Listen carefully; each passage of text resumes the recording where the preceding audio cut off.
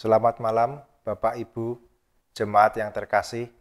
Senang berjumpa kembali dalam program Mari Membaca Alkitab pada hari ini, Minggu 16 April 2023. Tema bacaan hari ini, Apakah Tuhan di pojok? Bacaan diambil dari Nehemia pasal 11 sampai pasal 13. Renungan akan dibawakan oleh Pendeta Angga. Sebelumnya, Mari kita berdoa terlebih dahulu. Bapa di surga, kembali malam ini kami datang ke hadiratmu. Terima kasih untuk penyertaanmu sepanjang pagi, siang hingga malam ini. Sebelum kami beristirahat, kami ingin merenungkan sebagian dari firman-Mu. Kiranya Engkau urapi pendeta Angga yang akan menyampaikannya, agar firman yang disampaikan boleh menjadi berkat bagi kami semua. Kami serahkan Waktu yang ada hanya di dalam namamu. Terima kasih Tuhan. Amin. Nehemia 11 Para pemimpin bangsa menetap di Yerusalem. Sedang orang-orang lain membuang undi untuk menentukan satu dari sepuluh orang yang harus menetap di Yerusalem, kota yang kudus itu. Sedang yang sembilan orang lagi tinggal di kota-kota yang lain. Orang-orang memuji setiap orang yang rela menetap di Yerusalem. Inilah kepala-kepala provinsi Yehuda yang menetap di Yerusalem. Sedang di kota-kota di Yehuda setiap orang, yakni orang-orang Israel awam, para imam, orang-orang Lewi, para budak di bait Allah, dan keturunan para hamba Salomo, tinggal di tanah miliknya di kotanya sendiri. Di Yerusalem, tinggal orang-orang dari Bani Yehuda dan Bani Benyamin. Dari anak-anak Yehuda, Ataya bin Usia, bin Sakaria, bin Amaria, bin Sefaca, bin Mahalalel dari Bani Peres, dan Maseya bin Baruk bin Kolhose, bin Hasaya bin Adaya, bin Yoyarib, bin Sakaria, keturunan orang Siela semua Bani Peres yang tinggal di Yerusalem berjumlah 468 orang yang gagah perkasa. Dan inilah Bani Benyamin. Salu bin Mesulam bin Yoed bin Pedaya bin Kolaya bin Masea bin Itiel bin Yesaya. Dan sesudah dia, Gabai, Salai, 928 orang. Yoel bin Sikri adalah pengawas mereka, sedang Yehuda bin Hasenua adalah wakil penguasa kota. Dari para imam, Yedaya bin Yoyabirib yakin, Seraya bin Hilkia bin Mesulam bin Sadok bin Merayot bin Ahitub pemuka rumah Allah, dan saudara-saudara mereka yang bertugas di rumah itu 822 orang. Pula Adaya bin Yeroham, bin Pelalia, bin Amsi, bin Sakaria, bin Pasihur, bin Malkia, dan saudara-saudaranya kepala-kepala kaum keluarga, 242 orang. Dan Amasai bin Asarel, bin Ahsai, bin Masilemot, bin Imer, dan saudara-saudara mereka, pahlawan-pahlawan yang gagah perkasa, 128 orang, dengan Sabdiel bin Gedolim sebagai pengawas mereka. Dari orang-orang Lewi, Semaya bin Hasub, bin Asrikam, bin Hasabia, bin Buni. Pula Sabetai dan Yosabet, kepala-kepala orang-orang Lewi, yang mengawasi pekerjaan di luar rumah Allah. Lalu matanya bin Mika, bin Sabdi, bin Asaf, pemimpin yang mengangkat nyanyian syukur dalam doa, dan Bakbukia, orang kedua di antara saudara-saudaranya, dan Abda bin Samuel bin Galal bin Yedutun. Semua orang Lewi di kota Kudus ada 284 orang para penunggu pintu gerbang, Akub dan Talmon dengan saudara-saudara mereka yang mengadakan penjagaan di pintu-pintu gerbang. berjumlah 172 orang. Selebihnya dari orang-orang Israel awam dan dari para imam dan orang-orang Lewi ada di semua kota Yehuda, masing-masing di tanah pusakanya.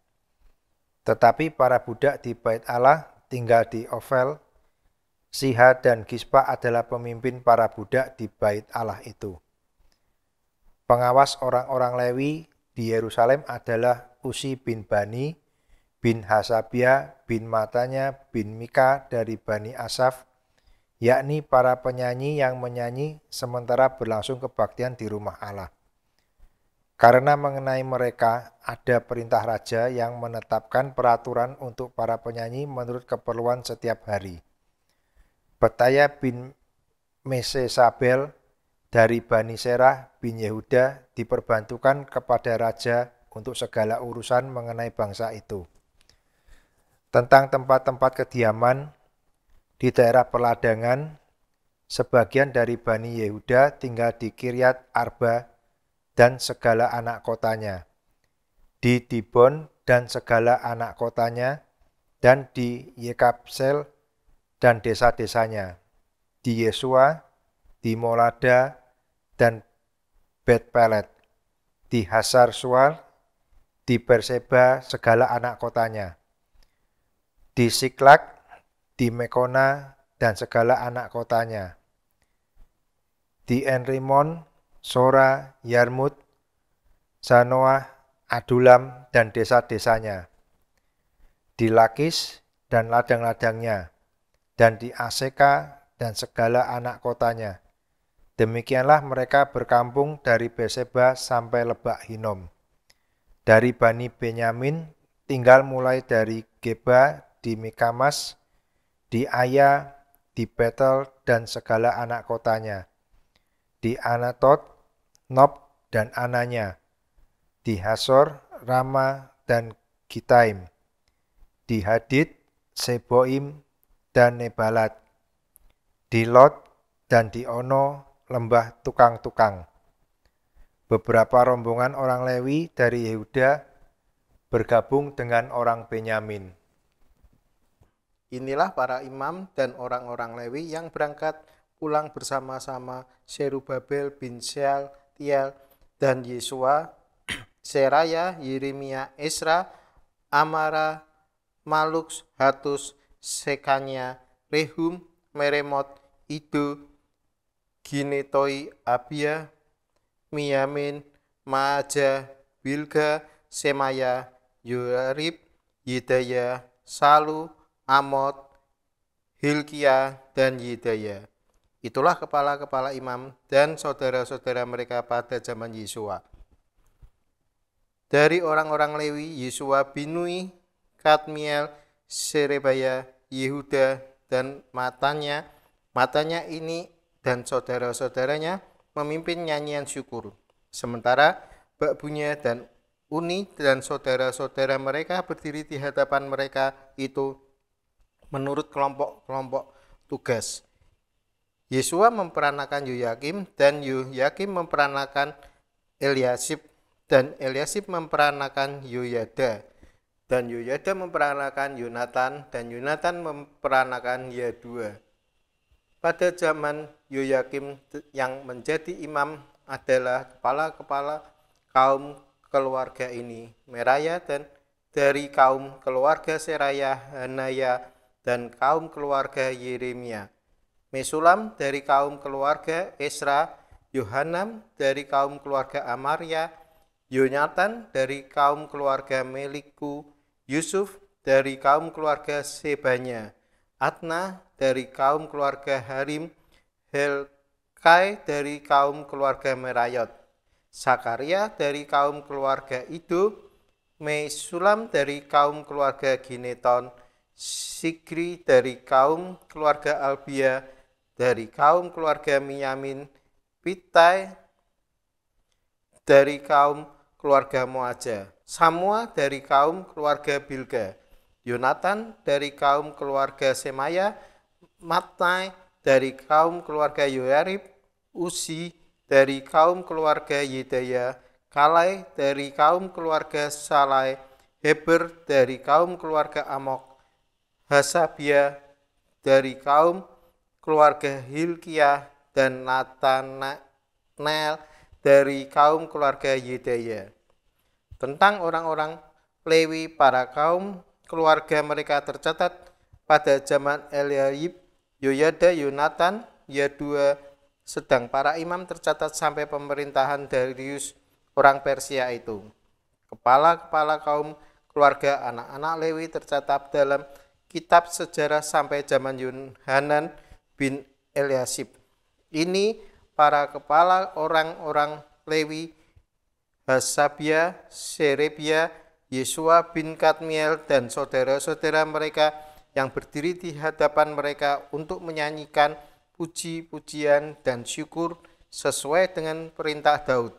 Abdi Allah itu kelompok di samping kelompok matanya, bakbunya, Obaja, Mesulam, Talmon, dan Akub adalah penunggu-penunggu pintu gerbang yang mengadakan penjagaan di gudang, gudang perlengkapan, dan pintu-pintu gerbang. Mereka itu hidup pada zaman Yoyakim bin Yesua bin Yosada dan pada zaman Bupati Nehemia dan Imam Isra ahli kitab itu. Pada pentabisan tembok Yerusalem, orang-orang Lewi dipanggil dari segala tempat mereka dan dibawa ke Yerusalem untuk mengadakan pentabisan yang meriah dengan ucapan syukur dan kidung dengan ceracap, gambus, dan kecapi. Mereka berkumpullah kaum penyanyi dari daerah sekitar Yerusalem, dari desa-desa orang Netofa, dari Belgilgal, dari Padang Geba dan Asmawet karena para penyanyi itu telah mendirikan desa-desa sekitar Yerusalem. Para imam dan orang-orang Lewi mentahirkan dirinya lalu mentahirkan seluruh umat itu dan kemudian pintu-pintu gerbang dan tembok. Lalu aku mempersilahkan para pemimpin orang Yehuda naik ke atas tembok dan ku bentuk dua paduan suara yang besar. Yang satu berarah ke kanan di atas tembok ke jurusan pintu gerbang sampah. Di belakangnya berjalanlah Hosaya dengan sebagian dari para pemimpin orang Yehuda. Pula Asaria, Esra, Mesulam, Yehuda, Benyamin, Semaya, dan Yeremia. Dari kaum imam yang memegang nafiri, Sakaria bin Yonatan bin Semaya bin Matanya bin Smika bin Sakur bin Asaf dan saudara-saudaranya yakni Semaya, Asarael, Ilalai, Gilalai, Ma'ai, Natanel, Yehuda, dan Hanani dengan bunyi-bunyian Daud abdi Allah itu. Sedang Esra ahli kitab itu berjalan di depan mereka. Lalu pada pintu gerbang mata air mereka langsung naik tangga-tangga kota Daud pada jalan pendakian tembok lewat istana Daud dan berjalan sampai pintu gerbang air di sebelah timur. Dan paduan suara yang kedua berarah ke kiri dan aku mengikutnya dengan sebagian dari orang-orang itu melalui tembok dan menara perapian sampai tembok lebar. Lalu kami melalui pintu gerbang Efraim, pintu gerbang lama, pintu gerbang ikan, menara Hanael, dan menara Mea sampai pintu gerbang domba. Mereka berhenti di pintu gerbang penjagaan. Kemudian kedua paduan suara itu berdiri di rumah Allah Demikian juga aku bersama-sama sebagian dari para penguasa dan para imam, yakni Eliakim, Maasea, Minyamin, Mika, Elioenai, Sakaria, Hanaya, dengan memegang nafiri. Dan Maasea, Semaya, Eleazar, Usi, Yohanan, Malkia, Elam, dan Eser Lalu para penyanyi memperdengarkan kidung di bawah pimpinan Yisyara. Pada hari itu mereka mempersembahkan korban yang besar. Mereka bersukaria karena Allah memberi mereka kesukaan yang besar juga segala perempuan dan anak-anak bersukaria sehingga kesukaan Yerusalem terdengar sampai jauh.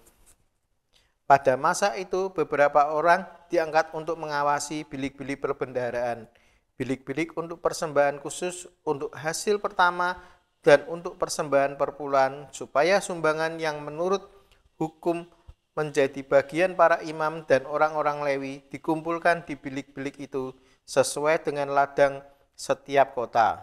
Sebab Yehuda bersuka cita karena para imam dan orang-orang Lewi yang bertugas karena merekalah yang melakukan tugas pelayanan bagi Allah. Mereka dan tugas pentahiran, demikian juga para penyanyi dan para penunggu pintu gerbang, sesuai dengan perintah Daud dan Salomo anaknya. Karena sudah sejak dahulu pada zaman Daud dan Asaf ada pemimpin-pemimpin penyanyi, ada nyanyian, pujian, dan nyanyian syukur bagi Allah. Pada zaman Serubabel dan Nehemia, semua orang Israel memberikan sumbangan bagi para penyanyi dan para penunggu pintu gerbang sekadar yang perlu tiap-tiap hari untuk mempersembahkan persembahan kudus pada orang-orang Lewi. Dan orang-orang Lewi mempersembahkan persembahan kudus kepada anak-anak Harum. Pada masa itu, bagian-bagian dari pada Alkitab Musa dibacakan dengan didengar oleh rakyat. Didapatinya tertulis dalam kitab itu bahwa orang-orang Amon dan orang Moab tidak boleh masuk jemaat Allah untuk selamanya. Karena mereka tidak menyongsong orang Israel dengan roti dan air. Malah mengupah Biliam melawan orang Israel sudah dikutukinya. Tetapi Allah kami mengubah kutuk itu menjadi berkat. Ketika mereka mendengar pembacaan Taurat itu, mereka memisahkan semua peranakan dari orang Israel. Tetapi sebelum masa itu, Imam Eliasib yang diangkat untuk mengawasi bilik-bilik rumah Allah kami dan yang mempunyai hubungan erat dengan Tobia, menyediakan sebuah bilik besar bagi Tobia itu. Sebelumnya orang membawa ke bilik itu korban sajian, kemenyan, perkakas-perkakas dan persembahan perpuluhan daripada gandum, anggur dan minyak yang menjadi hak orang Lewi, para penyanyi dan para penunggu pintu gerbang. Dan persembahan khusus bagi para imam. Ketika peristiwa itu terjadi, aku tidak ada di Yerusalem. Karena pada tahun 32 pemerintahan Arta Sasta Raja Babel, aku pergi menghadap raja. Tetapi sesudah beberapa waktu aku meminta izin dari raja untuk pergi. Lalu aku tiba di Yerusalem dan melihat kejahatan yang dibuat El Yasib untuk keuntungan Tobia. Sebab bagi Tobia itu telah disediakannya sebuah bilik di pelataran rumah Allah. Aku menjadi sangat kesal Lalu ku lemparkan semua perabot rumah Tobia keluar bilik itu. Kemudian ku suruh tahirkan bilik itu. Sesudah itu ku bawa kembali ke sana perkakas-perkakas rumah Allah, korban sajian dan kemenyan. Juga ku dapati bahwa sumbangan-sumbangan bagi orang Israel tidak pernah diberikan, sehingga orang-orang Lewi dan para penyanyi yang bertugas masing-masing lari ke ladangnya. Aku menyesali para penguasa, kataku. Mengapa rumah Allah dibiarkan begitu saja? Lalu kukumpulkan orang-orang Lewi itu dan kukembalikan pada tempatnya.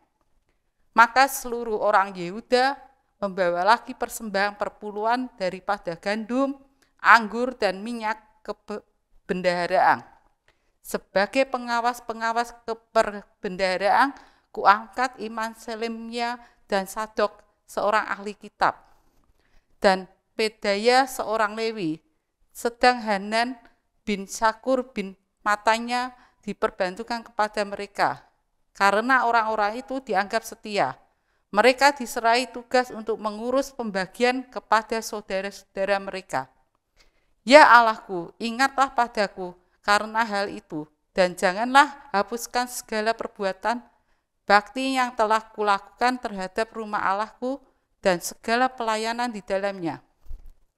Pada masa itu, kulihat di Yehuda, orang-orang mengirik memeras anggur pada hari sabat. Pula orang-orang membawa berkas-berkas gandum dan memuatnya di atas keledai. Juga anggur, buah anggur, dan buah arah dan berbagai muatan yang mereka bawa ke Yerusalem pada hari Sabat. Aku memperingatkan mereka ketika mereka menjual bahan-bahan makanan. Juga orang Tirus yang tinggal di situ membawa ikan dan berbagai barang dagangan dan menjual itu kepada orang-orang Yehuda pada hari Sabat, bahkan di Yerusalem. Lalu aku menyesali pemuka-pemuka orang Yehuda, kataku pada mereka, Kejahatan apa yang kamu lakukan ini dengan melanggar kekudusan hari Sabat?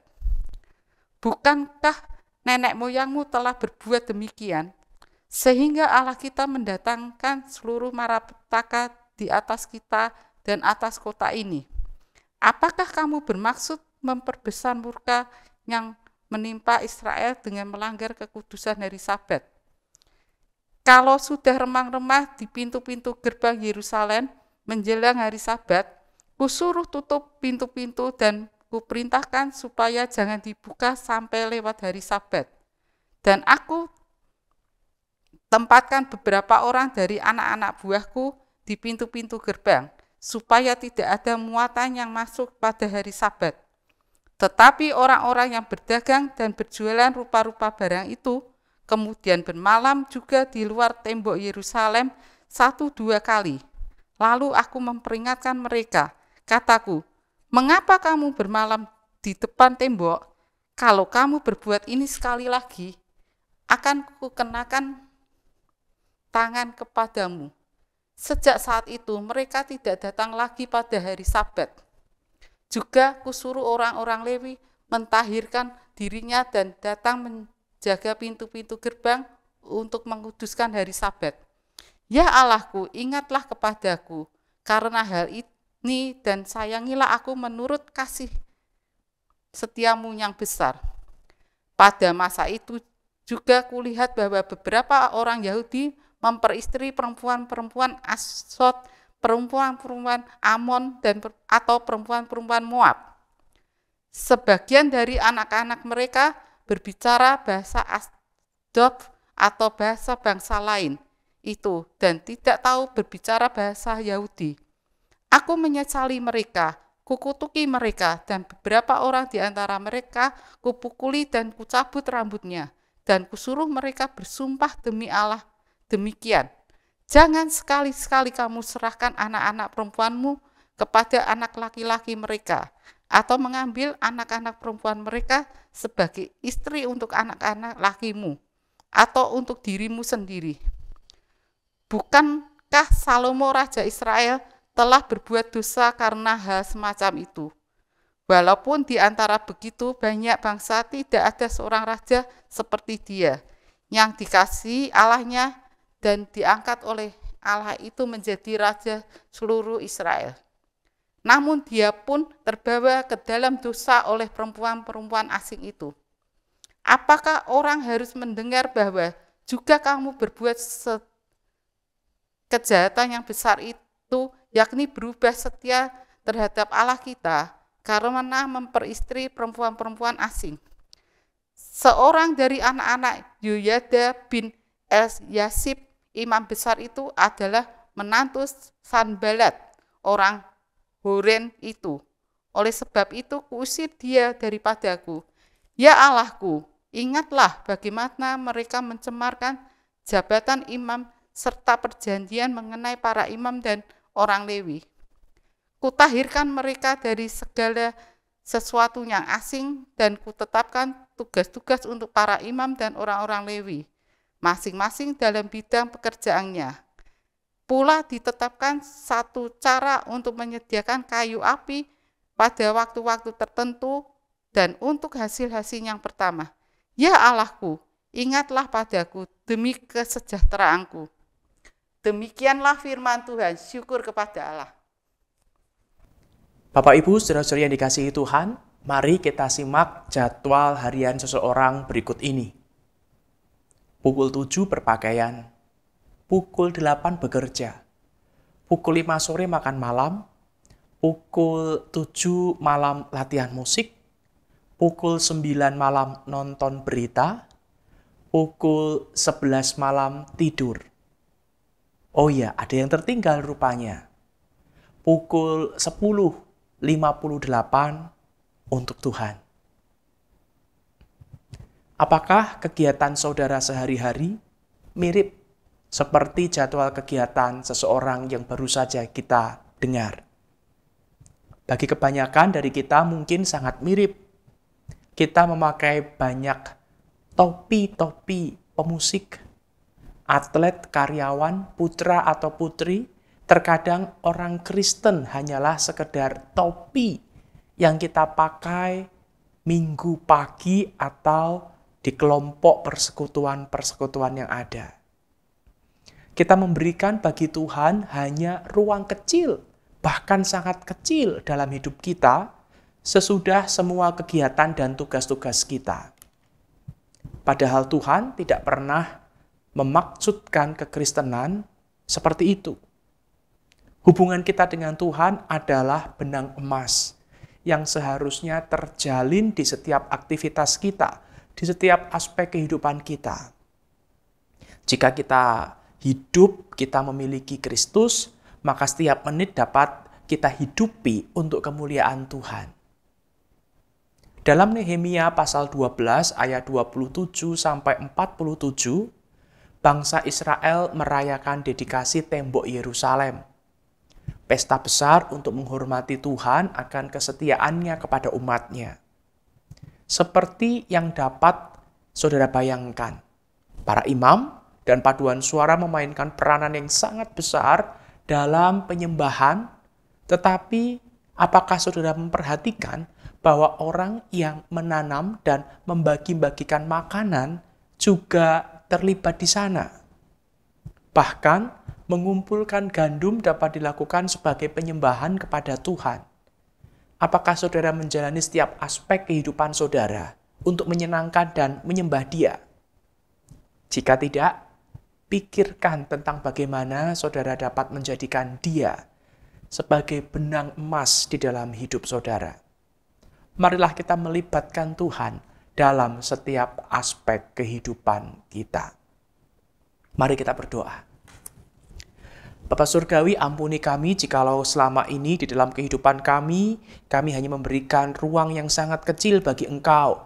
Kami hanya menyediakan waktu yang sangat sedikit bagi Engkau. Ampuni kami ya Bapa, mampukan kami mulai dari hari ini untuk melibatkan Tuhan dalam setiap aspek kehidupan kami Seluruh waktu di dalam kehidupan kami, kami pergunakan bersama-sama dengan Tuhan. Kami mempersembahkannya bagi Tuhan. Kami melibatkan Tuhan dalam setiap aspek kehidupan kami, sehingga kehidupan kami berjalan ke arah yang benar, berjalan sesuai dengan kehendak-Mu. Kehidupan kami semakin serupa dengan Kristus Putramu ya Bapa. Inilah permohonan kami. Di dalam nama Tuhan Yesus kami berdoa. Amin. Selamat malam, selamat beristirahat. Tuhan memberkati.